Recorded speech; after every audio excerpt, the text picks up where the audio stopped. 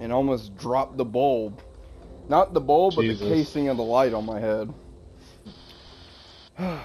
anyway, Yeah, Rupert, I'm back. and welcome back, Zion. Yeah, I don't know for how long. My head's bleeding. I brought my new friend. It's uh called the new lump in my head now.